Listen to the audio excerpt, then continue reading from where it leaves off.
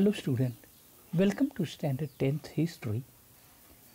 We are studying chapter 4th history of India art.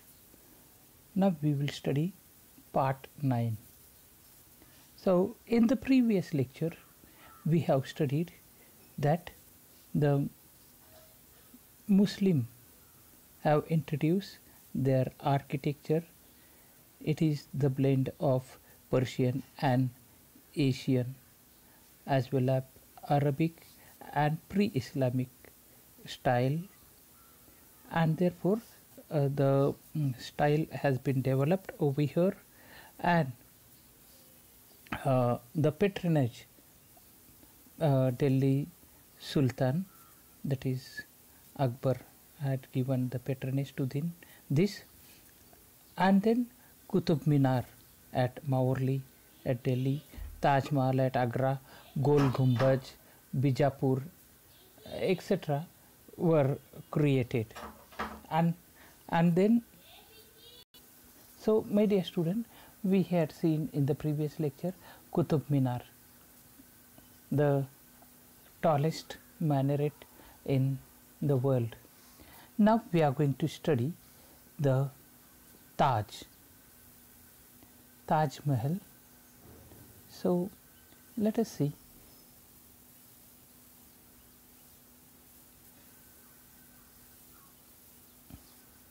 The Taj Mahal was built by Mughal Emperor Shah Jahan in memory of his queen Mumtaz Mahal.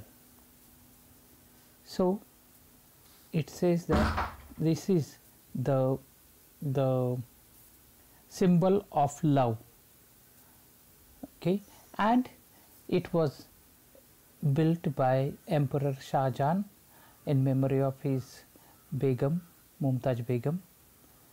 The taj is looked upon as the paramount example of the beauty of islamic architecture in india. So it is a beautiful structure the beauty is there. It has been built and it has been built with the white marble. And such a huge structure has been built four side four minarets and the stars stand in between. Uh, first of all let me tell you it is the graveyard of Mumtaz Begum. But uh, the grave i'm sorry the grave of Mumtaz Begum, but it is also the sign of love, which uh, tells us that how much love Shah Jahan had towards his Begum, Mumtaz Begum. This world famous building has been declared as World Heritage by UNESCO. So, this has been declared as World Heritage. Let us move on to the next structure that is the Gol Gumbaj. Gol Gumbaj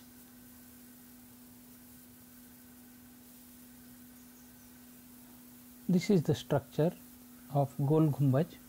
The Gol Gumbaj at Bijapur in Karnataka was built in the 17th century Christian era. So 17th century this was built. This grand building houses the burial of Muhammad Adil Shah of Bijapur. So Muhammad Adil Shah of Bijapur is buried over here. So again it's the memorial of Muhammad Adil Shah the grave of Muhammad Adil Shah inside the dome after which the building is named the Gol Gumbaj. There is a round gallery inside the uh, inside the dome. Even a slight whisper by a person standing in this gallery can be heard everywhere and it's if somebody claps from here its echo can be heard many times. So, this is the beauty of this gumbaj that is the dome. Even a slight sound or the whisper sound is made, the sound is heard everywhere in the building inside. And uh, the clap if you give the echo sound you can hear for several time. And therefore it's the beautiful structure. You can see the structure you can see the color combination um, the tall tallness of it. Yeah mm, even even you can um, you can see the from ground uh, its story. Uh, the almost uh, as high as the seven story building or uh, seven or eight story building. And the uh, four side we have the smaller domes. Hmm? and these domes are been painted in gold gold color. So this is the beauty of it.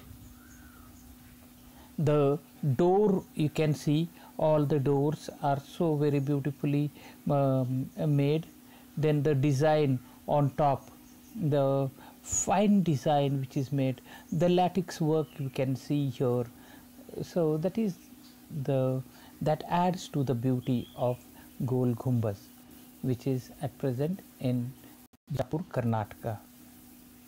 During the British period, my dear student, a new architectural style arose in India. It is known as Gothic ar architectural style.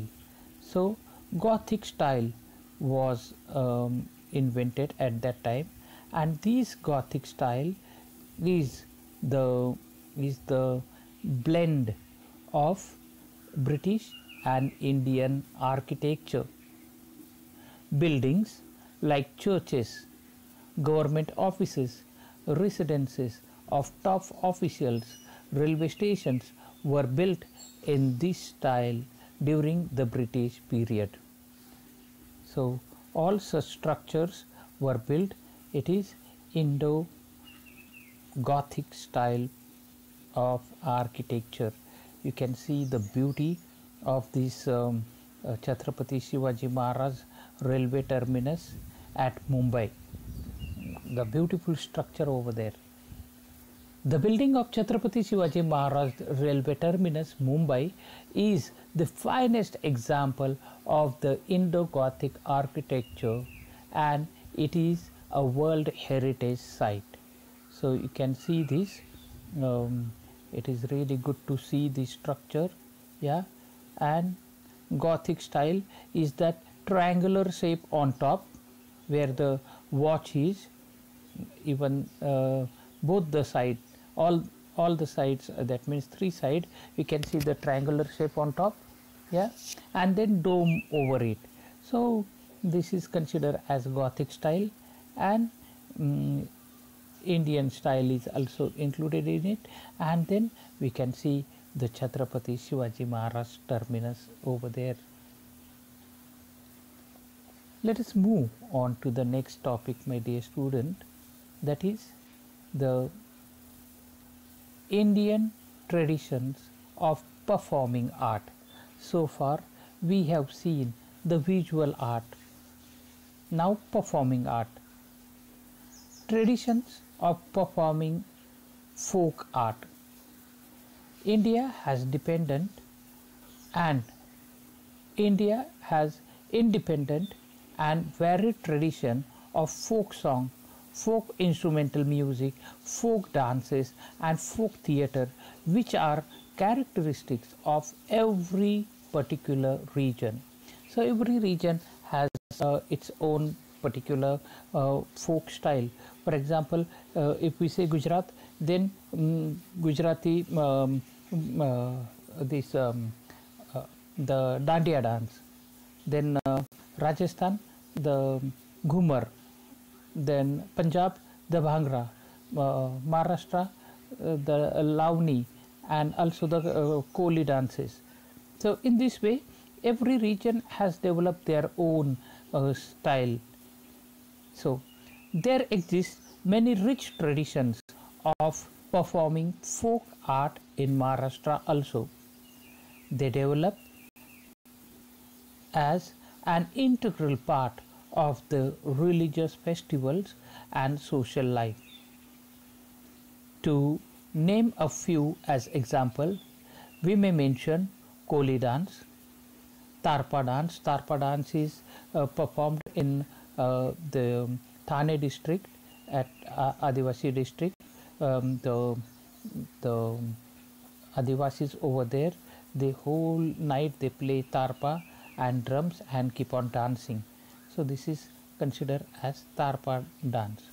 Then the Shautar of Konkan, which is quite famous, the Shautar, Povada, Kirtan, Jagrang Gondal, these are all folk style.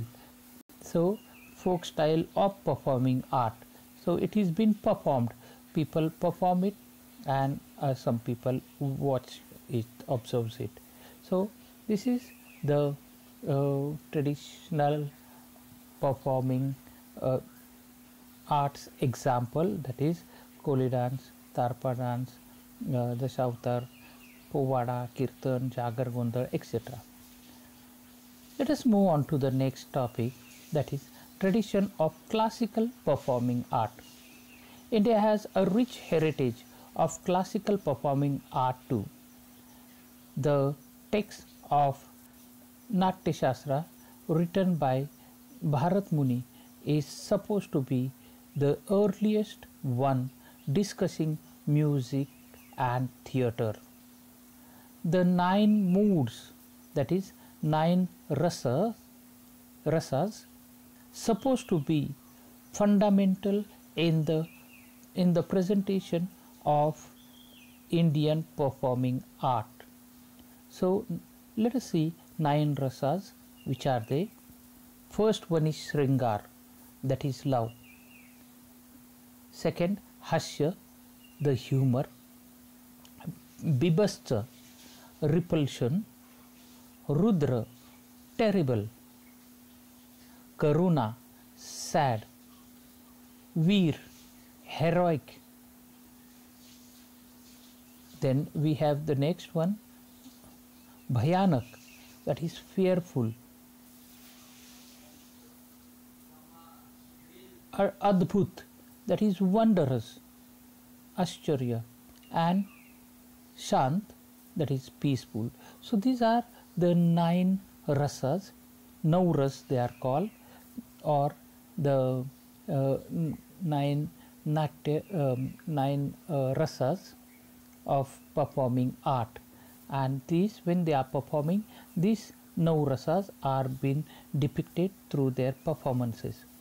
Indian people came into contact with cultural tradition of other nations and that resulted into blending of many different streams in the presentation of Indian performing art enriching them over times so blending of different cultures and then we can see many different art forms as a result many style of presenting of classical vocal music instrumental music and dance came into existence. Various schools preserving those styles were also created. There are two main branches of the Indian classical music. So, so let us see Hindustani music and Carnatic music. Similarly, there are two forms of it classical that is Shastriya and semi-classical Upashastriya. The semi-classical has included many styles of folk music. A beautiful blend of all three forms of music, vocal instrument and dance can be seen in various Indian classical dance dance form like Kathak of North India, Lavani of Maharashtra. Then we have uh, we have the uh, Odissi of Odisha, then Bharatnatyam of Tamil Nadu, Kathakali, Kathakali of um, and Mohiniyattam of Kerala.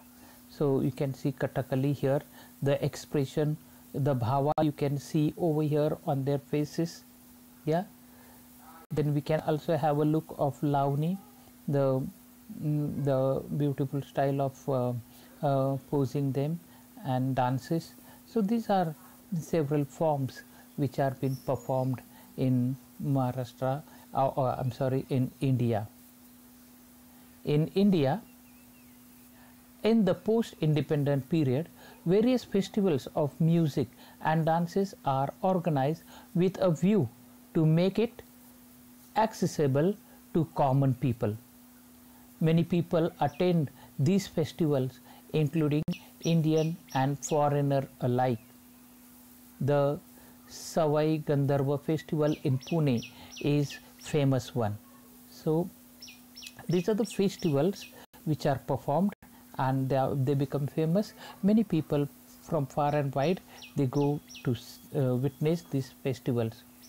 Lately, we can see an inclination towards experimenting and creating fusion of various music styles by trying to overcome the limitations imposed by a traditional style of school.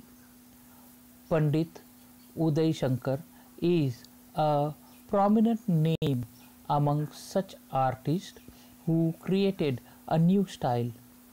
He successfully created a fusion of indian classical dance and european opera. So both the style he has mixed together. He also included various forms of folk dance in style. Thus, the scope of the presentation of Indian performing art seems to be constantly expanding. The same phenomenon is apparent in the field of Indian visual art. So uh, this is could be seen in the Indian visual art and um, quite a many different um, uh, differentness is there and uh, experiments are being made.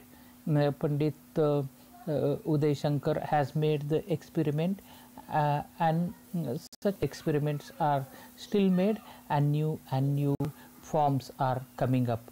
So my dear student mm, uh, today we will wind up with this note. In the next time we are going to study art applied art and professional opportunities. So what opportunities we will have in near future uh, by studying art, by, studying several um, arts.